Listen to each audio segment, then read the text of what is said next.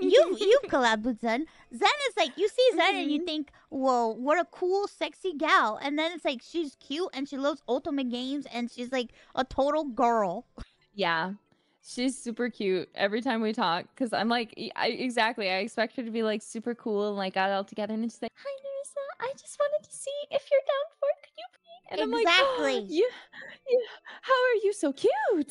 It's super cute. It's like with you, it's like you see a regal, beautiful, princess-like diva girl, you know, and it's just like, wow, she's so perfect. And then it's like, yeah, I'm like, coño carajo, hijo de la puta mierda, ¿qué yo te dije a ti? Que si algo está pasando, que tú me tienes que decir.